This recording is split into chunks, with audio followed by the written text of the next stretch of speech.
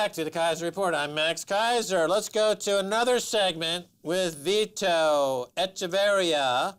He's with Cuba Ventures Corp. Vito, welcome back. All right. I know. I look at your, your business card here, and it has a, a lovely little color thing of, of Cuba, eight, eight different colors. Does that correspond to anything? What? The the provinces, uh, Cuba's provinces, basically. That's the breakdown of each province. All righty. So in, in Havana would be Uh, very much to the west. I mean, obviously, uh, Pinar del Rio, which is west of that, which is a major uh, tobacco cigar producing area. and these provinces date back to when? Uh, well, basically, uh, the birth of the island, basically, birth of the country, uh, if you will. Right. It, goes back. If I were to mention OFAC, Yes. I mean, I mean, the question about the colors I thought was interesting. Yeah. Obviously, it bored you. I mean, you were bored by that question, obviously. But you know, a lot of people out there are color theorists or artists or painters, or they love Cuba for the culture of it. We have a lot of Spanish speakers around the world who watch our show. And let me put that down and move on. Okay. So, um, OFAC, what is it? Tell me about it. It stands for the Office of Foreign Assets Control. It's part of the U.S. Treasury Department. It's a department within that branch that enforces trade embargo, not just against Cuba, but any other country that we have an issue with, such as North Korea and Iran, sort of thing. Um, OFAC, at the end of the day, is this governing body which tells American companies and individuals what they can and cannot do with Cuba.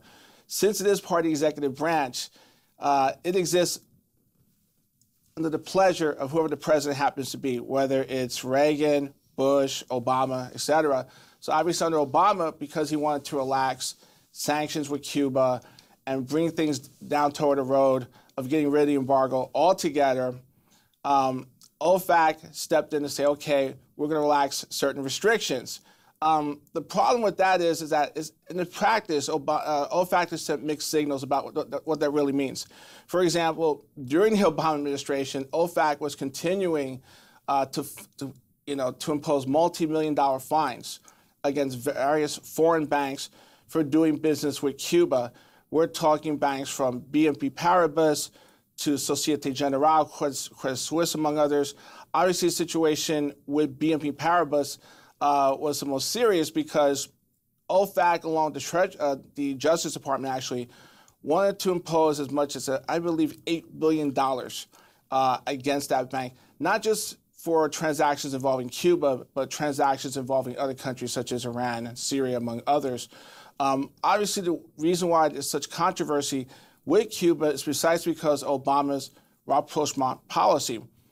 The answer to that question, though, as to why this is still happening, is because of the fact that OFAC, because it's a bureaucracy, takes its time in terms of instituting um, fines against a given bank. So, for example, in 2014, when Obama was carrying this rapprochement policy, um, the fines were for transactions that predated his administration, basically. So that was the justification for these situations. So the question is right now, what is going to happen under Trump? Is OFAC still going to impose fines against banks based on situations that happened during the latter part of the Obama administration? Right. So Obama loosened it up. Yeah. OFAC was still processing through fines for banks, busting the sanctions from Right. previously, and they're still having inventory or a backlog of stuff. Yeah. They're still going through it. And then Trump comes in, and his Right. message is uh, then again uh, different again, right? So how does that play? yeah, you know, right now the Trump's a very mixed message because you know he's toying with the idea of scaling back some of Obama's policies. Um, the speculation right now is that he may scale back as far as telling American companies that they cannot do business with companies that are controlled by the Cuban military. It's a, it's a conglomerate in Cuba known as Gaesa, which, among other things, controls a number of hotels there, which include at least one hotel that's being currently managed by Starwood Hotels. Right, actually. so military uh, controls the hotels.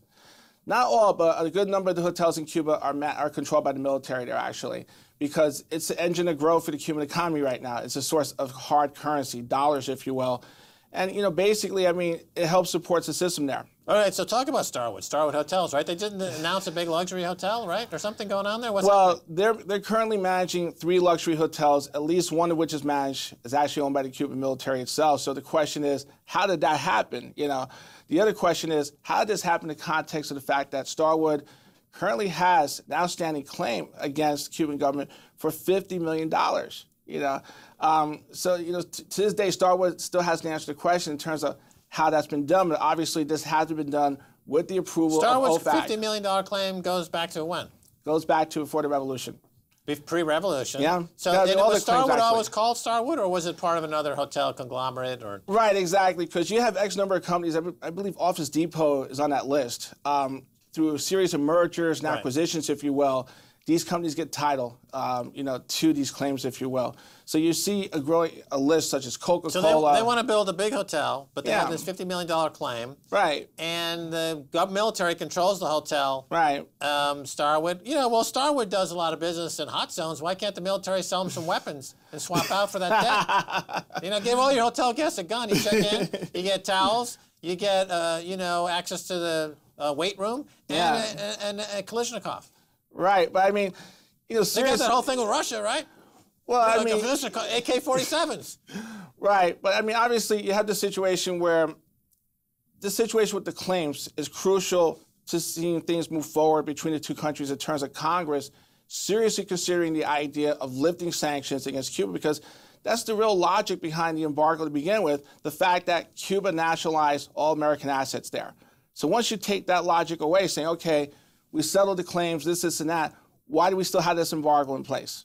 You know, so you have groups right now such as Engage Cuba. Engage Cuba right now is a lobby based here in Washington, and they're getting a, a lot of corporate support right now to help push for further trade, further engagement with Cuba because nowadays when people hear Cuba, they're seeing multi-million dollar signs in terms of potential for a lot of trade, a lot of business happening there. If All right, now I understand like JetBlue and these uh, Yeah. airlines. They got okay nonstop. Let's go to Cuba, uh, and they they uh, increase lines and they're ready to go. And then six months later or a year later, they're saying, you know what, the traffic's been pretty slow. We're going to cut back on some of these lines. We're not getting the boom that we thought we were going to get. Why? Well, yeah, that's a mixed bag. Um, the reports that you've been hearing have to do with certain uh, uh, second-tier airlines such as Frontier and Spirit. What happened was when the Department of Transportation allotted flights to Cuba, they gave those um, airlines flights to undesirable uh, destinations such as Camagüey. Santa so where's that on the map? Where's that on the map? Exactly. Where's that? Right. um, Where is it?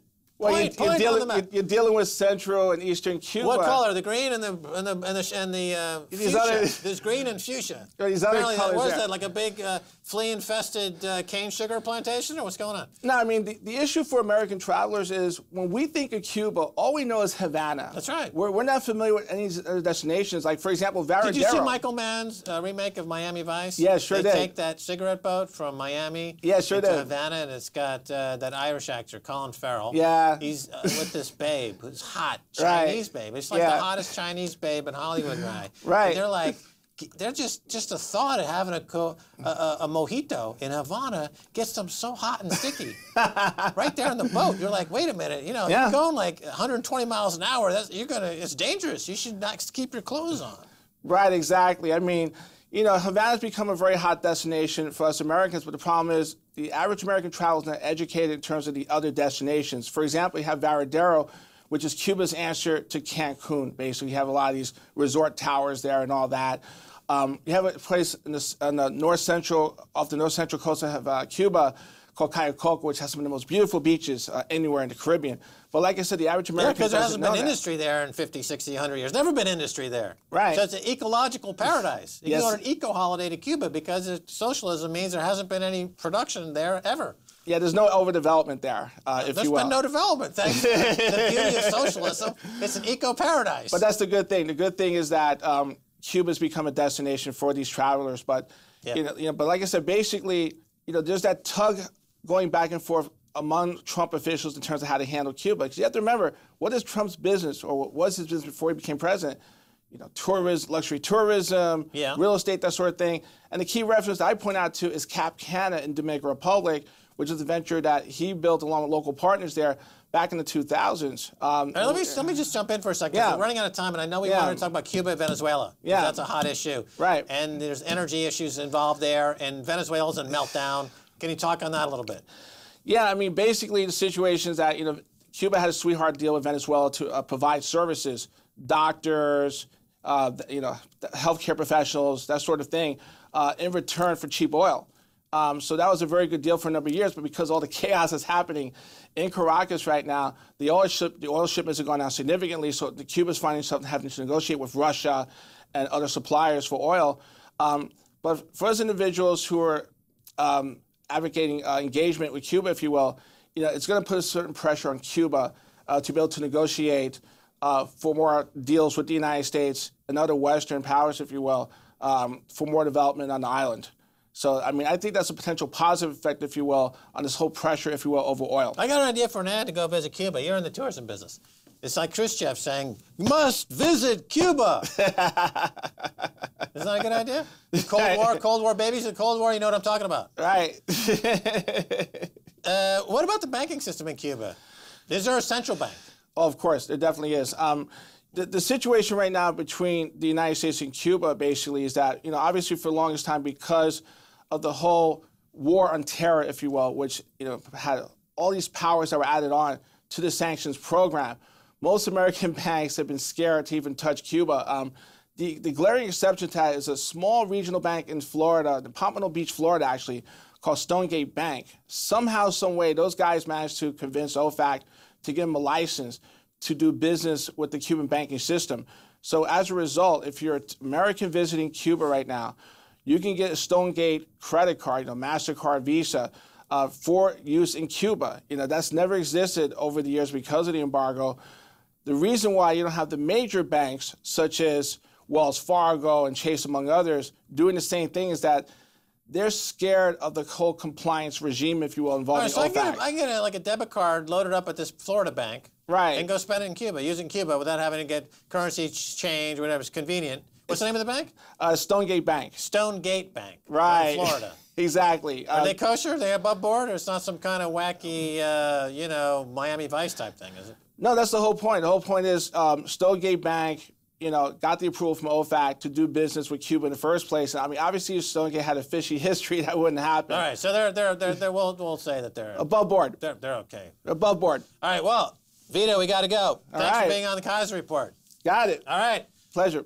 Well, that's going to do it for this edition of the Keiser Report. With me, Max Keiser, and Stacy Herbert. I'd like to thank our guest, Vito Echevarria. He's from Cuba Ventures Corp. If you want to reach us on Twitter, it's Keiser Report. Until next time, hasta la vista, baby.